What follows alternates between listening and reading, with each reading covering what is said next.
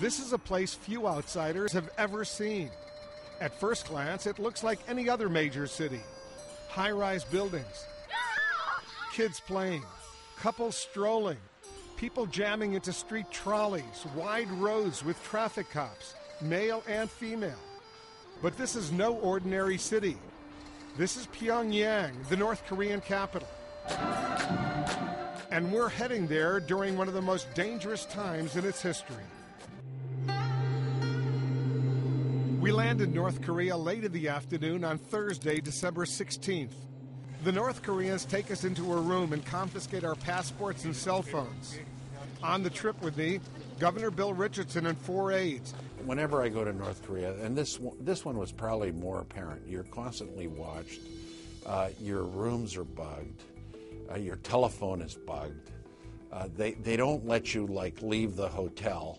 You have to ask your handlers.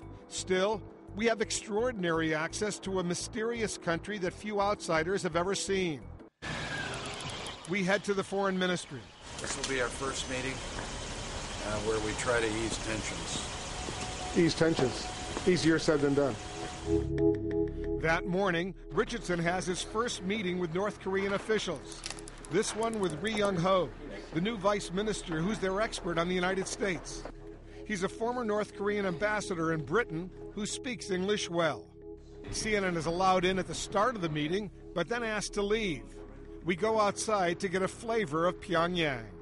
Here we are. This is Kim Il sung Square. As you can see, it's uh, really huge. It's magnificent, uh, and they often have events here, which is totally understandable. These are all government buildings uh, over here. This is a brisk, cold day uh, on this Friday here in Pyongyang, uh, but it's nice.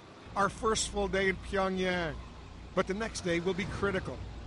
Richardson will be meeting with North Korea's chief nuclear negotiator, the man who invited him to visit this country, just as tensions on the Korean peninsula are mounting. The whole world is watching right now. One miscalculation could cause a full scale war.